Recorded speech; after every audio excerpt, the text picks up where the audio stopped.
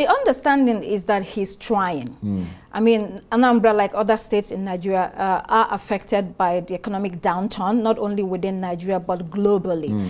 Um, so sometimes people are a bit impatient because they want to see the results now and then. Um, sometimes you have to make plans that are more long term.